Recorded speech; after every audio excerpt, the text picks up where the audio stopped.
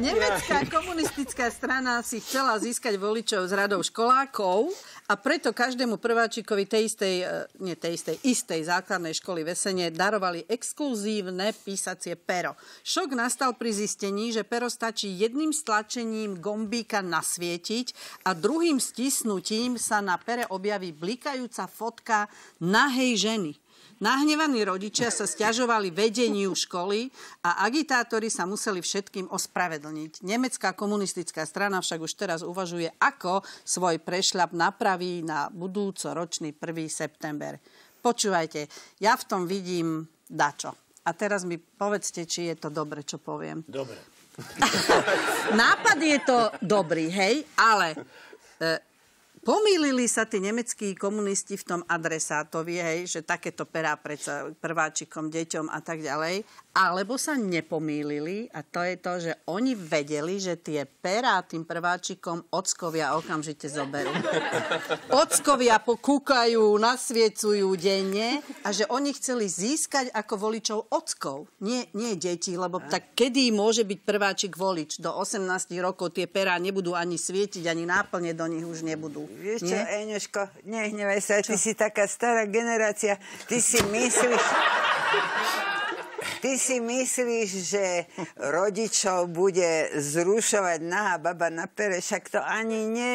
Deti už dnes nezrušuje. Na pera? Ke, ne, Presne, presne. ani deti, veď... e, Zle si to povedal. To sú tie Čo ja viem, operky, po, čo? pozrie sa na cerusku, vidí tam nahú babu, toho vôbec nevzruší už dnes školáka. Veď dnes pri dištančnom vyučovaní deti sedia pri počítači a pozerajú porno. Nebude sa predsa dívať na jednu cerusku. Mne sa...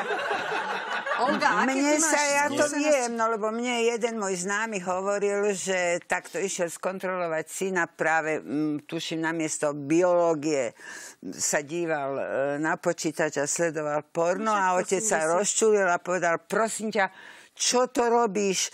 Takto sa učíš? A čo tam vidíš? A ten sa tak prelakol, ten žiak, pani učiteľku.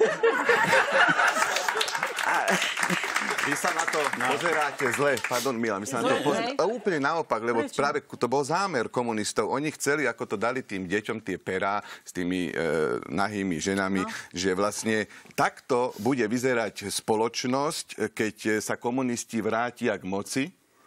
Aha. Že ľudia nebudú mať nič, len holé rite. Vy vidíte. Presne tak. No Ale aby je, sme a boli... je to alternatíva. Ale aby sme boli férovi, na budúci rok v septembri tu budú naozaj holí muži na tých Už aby to bolo. Najprv seriózne k tomu. Dobre. Prajem aj nemeckým komunistom to, čo sa konečne splnilo českým komunistom, že po 96 rokoch nie sú v parlamente. To je tá seriózna časť.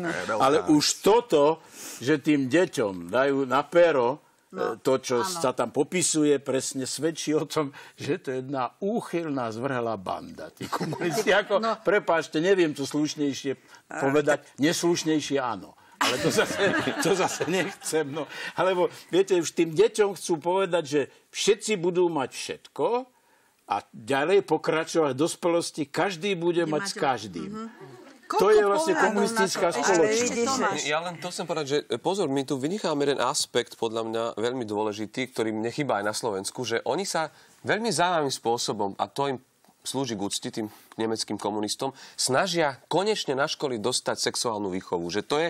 Lebo, Tak toto ty vidíš. tak to vidím, lebo pozrite sa, a nejdu na to zle. Na pero. Lebo na tom sa dá ilustrovať strašne veľa vecí. Napríklad predčasne vytečený atrament. Hej? Môže byť zaseknutá pružina v pere, akože ohnutá tuha. Ako, podľa mňa nejdu na to zle, nejdu na to zle.